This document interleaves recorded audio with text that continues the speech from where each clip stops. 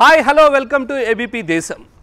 Telangana ముఖ్యమంత్రి KCR press మీట్లో మాట్లాడుతూ బడ్జెట్పై ఆయన అభిప్రాయాలను వ్యక్తం చేస్తూ ఒక మాట అన్నారు.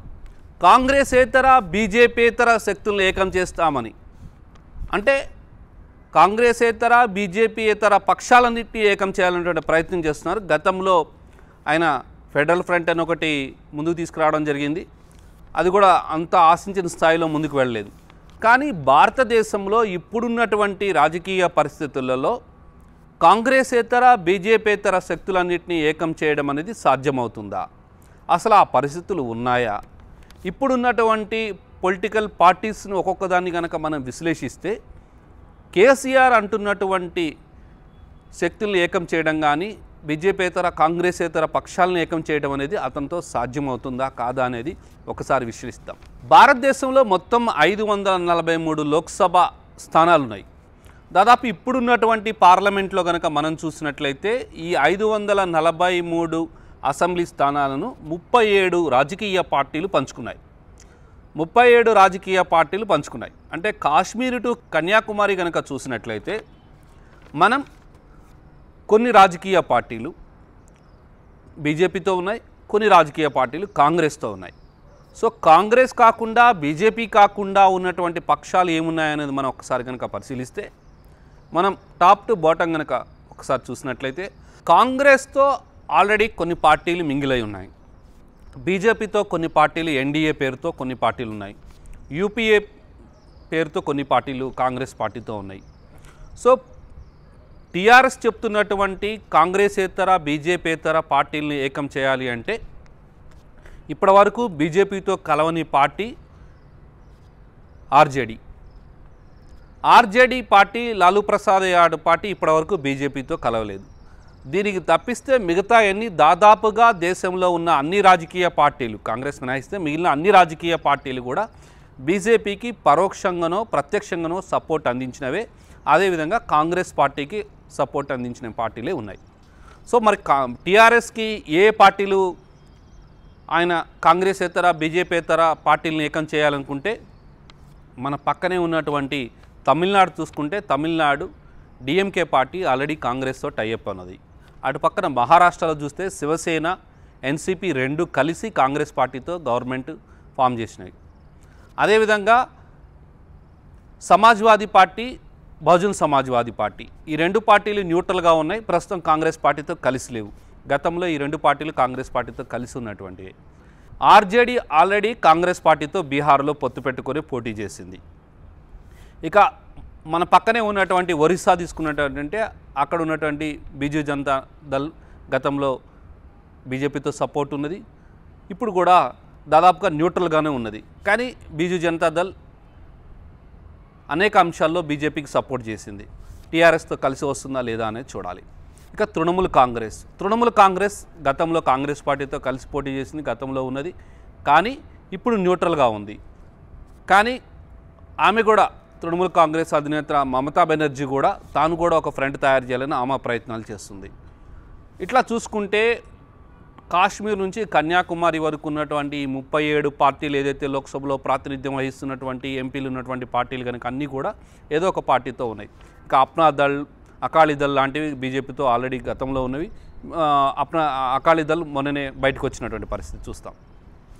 సో ఇక చిన్న చితక పార్టీలన్నీ ఉన్నాయి. ఇక్కడ టీఆర్ఎస్తో ఎంఐఎం పార్టీ కలిసి ఉన్నది.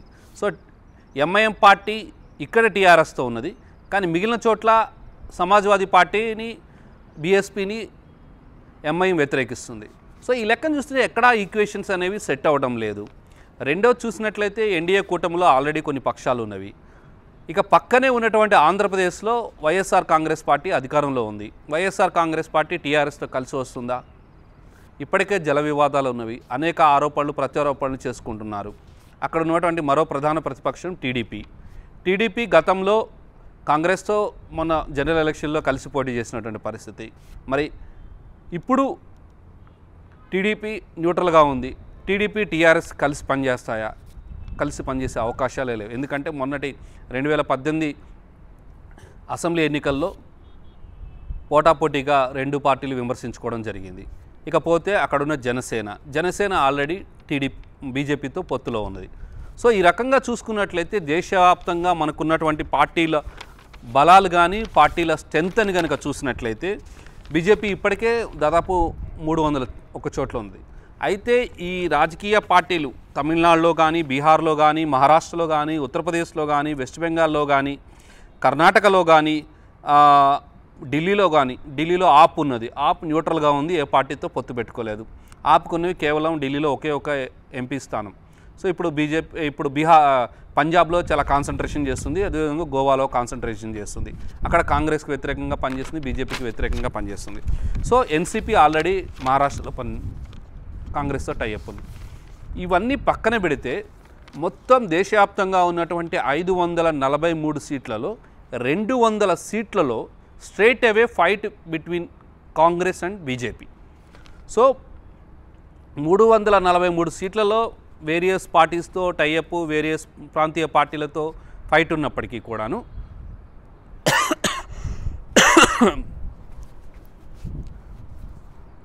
కాంగ్రెస్ పార్టీ బీజేపీ రెండు కూడా దాదాపుగా రెండు వందల లోక్సభ స్థానాల్లో స్టేట్ అవే ఫా ఫైట్ చేస్తున్న నేపథ్యంలో కాంగ్రెస్ని కాదని ఒక ఫ్రంట్ అనేది రావడం కష్టం. ఎందుకంటే ఈ రెండు వందల సీట్లు కనుక మినహాయిస్తే ఇంకా ఉన్నటువంటి మూడు వందల నలభై మూడు సీట్లలో వేరియస్ పార్టీలు ఉన్నవి.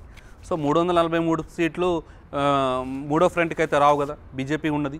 ఈ రెండు వందల కా సీట్లలో వేరే ప్రాంతీయ పార్టీలు అయితే పోటీ చేయట్లేదు కేవలం fight between Congress and BJP ఉన్నది.